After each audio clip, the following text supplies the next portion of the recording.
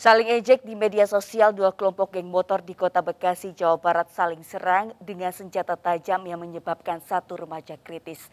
Polisi meringkus tiga pelaku bentrokan, dua di antaranya masih di bawah umur.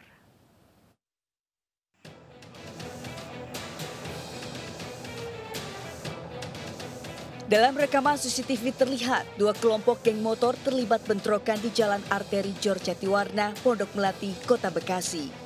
Kawanan geng motor yang rata-rata masih remaja ini saling serang menggunakan celurit dan pedang. Bahkan seorang anggota geng motor lawan yang terjatuh saat menyelamatkan diri menjadi sasaran penganiayaan.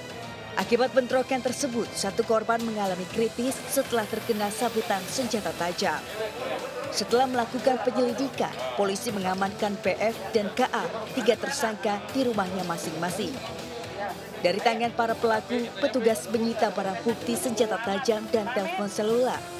Aksi bentrokan antar gangster ini dipicu saling ejek di media sosial dan berlanjut membuat janji melangsungkan tawuran. Apa ya, bertemu itu melalui media sosial, Instagram, Instagram mereka. Janjian, jadi mau perang aja janjian dia. Nah ini uniknya nih.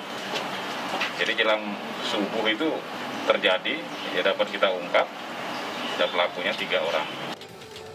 Atas perbuatannya, ketiganya dijerat pasal 170 dan pasal 55 KUHP tentang penganiayaan serta perlindungan anak dengan ancaman pidana maksimal lima tahun.